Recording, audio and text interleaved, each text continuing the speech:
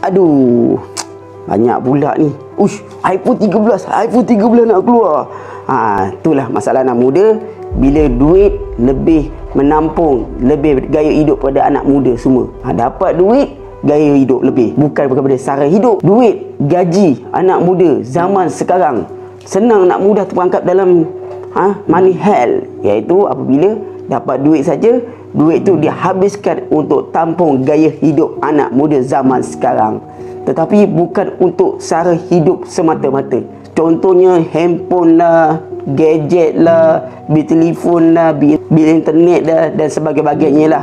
Oh tengok member terpengaruh kawan-kawan nampak handphone tu beli beli sana beli sana beli sana.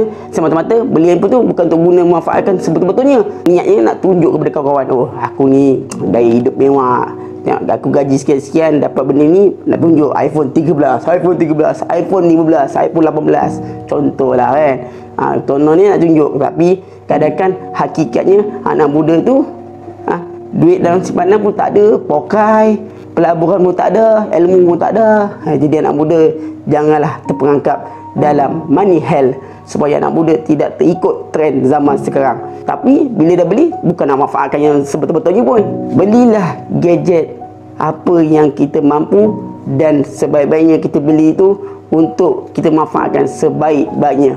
Bukan kita beli hanya untuk menunjuk-nunjuk kepada kawan-kawan kita, kepada ahli keluarga kita.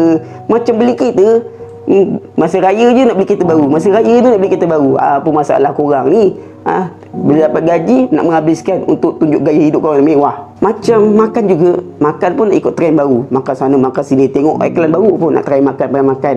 Ha, duit pun uh, cukup air bulan, duit dah pokai. Tak ada simpanan, tak ada langgan takaful. Masalah kepada anak muda. Jika video ini manfaat, sharekan kepada kawan anda semua.